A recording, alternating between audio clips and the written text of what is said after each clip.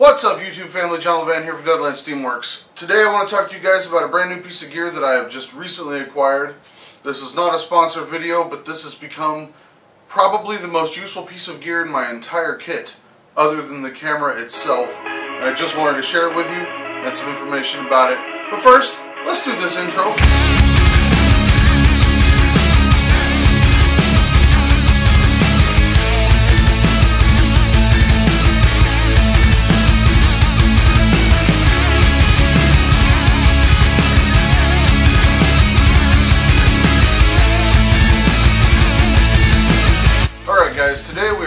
About the Small Rig Multi-Tool.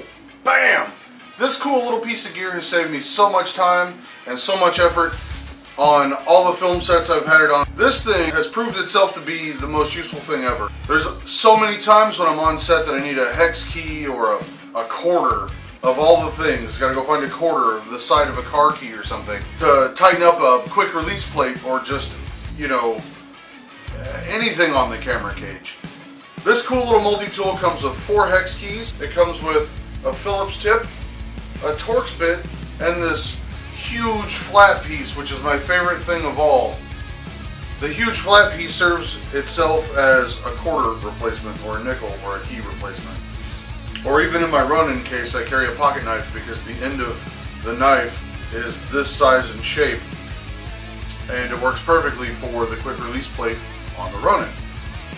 However, now that I have this, I just keep this bad boy in my pocket and I don't need all those other multi-tools, which I have like one per bag.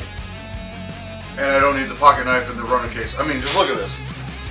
This one little multi-tool has saved me from having to carry around all these multi-tools because I put one in all of the boxes and all of the bins and the bags and everything gets them. Those can just, they can go now.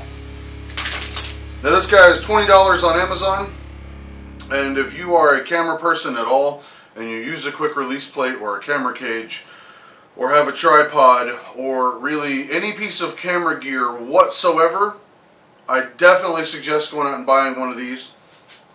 It has saved me countless, countless hours of hunting down another tool or finding the right one because this is all the standard things. It also, on this other side, has a bunch of screw holes pre-tapped put into the side of it so that if you remove a bolt from something you can just thread it right into the side of this and put it in your pocket and you won't lose the bolt.